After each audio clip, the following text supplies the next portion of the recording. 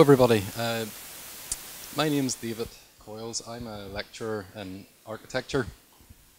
Can you hear me okay? Yeah.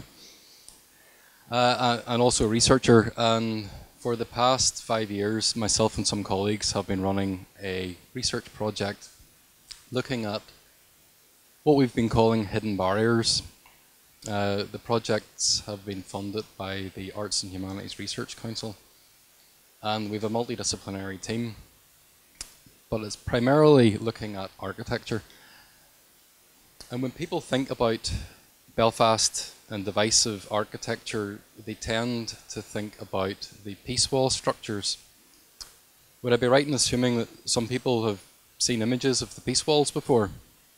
These are purpose-built uh, concrete walls and fences put there to separate uh, Catholic and Protestant communities in contentious areas.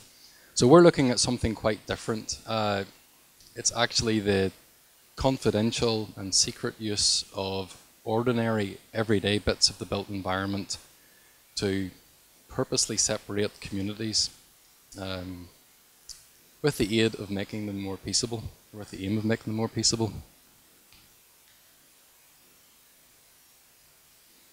Now, one of the things that's often overlooked about the Troubles conflict, or the Troubles, sorry, is the idea that it was a very, very urban conflict. Uh, this was a conflict that took place literally on the streets of the city, uh, ordinary residential streets. So in the late 1970s, the inner city of Belfast was full of housing that had been in existence pretty much since the late 1850s. Uh, very, very dire state. So there was an opportunity um, for large-scale urban renewal, which was needed. Alongside that, you have the conflict playing out. And a secret government committee was formed to see how they could think about redeveloping the city in a way that might make it easier to police and reduce confrontation between Catholics and Protestants in contentious areas. So in a way, this process of urban renewal provided a degree of subterfuge for these kinds of military-led interventions to take place. In our work, uh, we've identified three different types of hidden barriers that were actually put in place, and they operate at three different levels. So the first type of barrier is what we're calling an inter-community barrier. These are instances where large-scale uses of the built environment have been introduced to simply separate two areas that were formerly connected. And the best way to actually illustrate the kind of impact these things have is, is by example. So, for example, we have in yellow, this is in North Belfast, a map from 1978. You have a Catholic area, Ardoyne, Catholic area, Cliftonville, and a Protestant area, Lower Old Park. Uh, at this time, whenever this area was being redeveloped, the government were quite concerned that because of the numbers of Catholics pouring in to Ardoyne and Cliftonville, that these areas would join up and in doing so swallow up the Protestant area of Lower Old Park, thus creating what they referred to as um, an uncontrollable Catholic ghetto. Their, their words, not mine. Um, so to ensure that that didn't happen, they built this industrial estate on top of the abandoned Protestant housing to make sure that you can see this would be the Catholic housing, this is the industrial estate and the link road and this is the little bit of Protestant housing.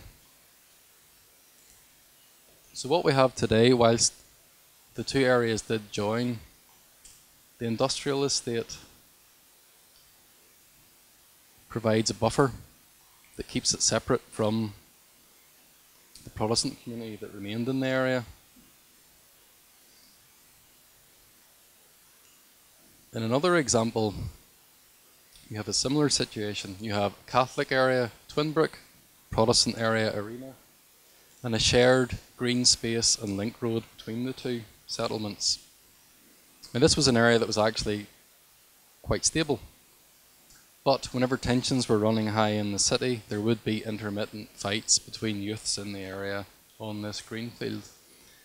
And people became very concerned in the government that perhaps, again, Catholics living in this area might spread across and take over the Protestant Areema estate.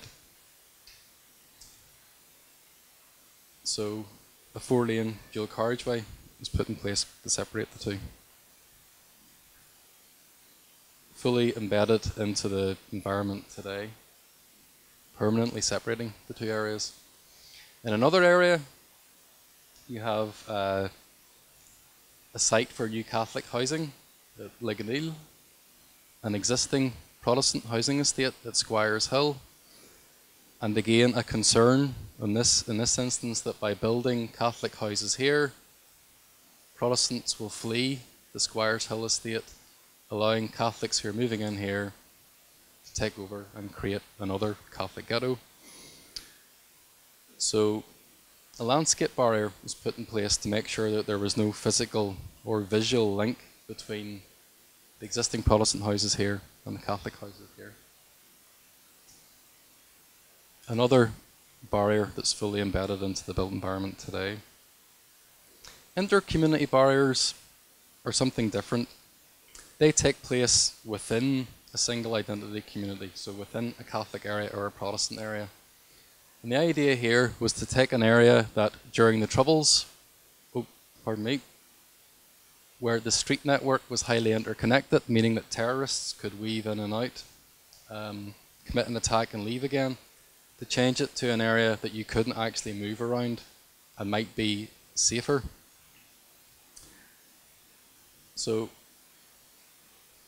very crude instances of architecture being used to literally block streets, stop people moving around. In this instance, a house literally put in the middle of an old street, but creating areas that are now very, very insular and inward looking. At that time, they might be secure and private. But it begs the question of what it's like to live in an area like that today. And then the final type of barrier that we found are what were called hidden boundaries. These are actually instances where everyday bits of Belfast have become recognised as territorial landmarks between two communities.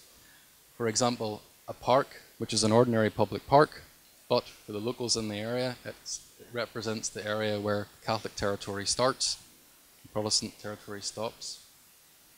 Or school playing fields that some people on our tour saw this morning that actually represent the buffer between Catholic and Protestant areas. Traffic island seems completely benign, but is actually recognised locally as the boundary between Catholic area and a Protestant area. And a road that is recognised as a Catholic route, so Protestants who live nearby will walk half an hour in another direction before they'll actually walk up here to use the local shops. Begs the question of what do you do next? Peace walls, as problematic as they are, are highly visible, highly recognisable, and you probably can take them down if you want to. Much more difficult to remove a road, to take down dense vegetation and planting, or to remove an industrial estate. So we've begun to engage with policymakers and have presented our research, and we have a couple of recommendations at thinking about how things might move incrementally, beginning to transform these barriers at a local level, and perhaps making small interventions that might make a difference.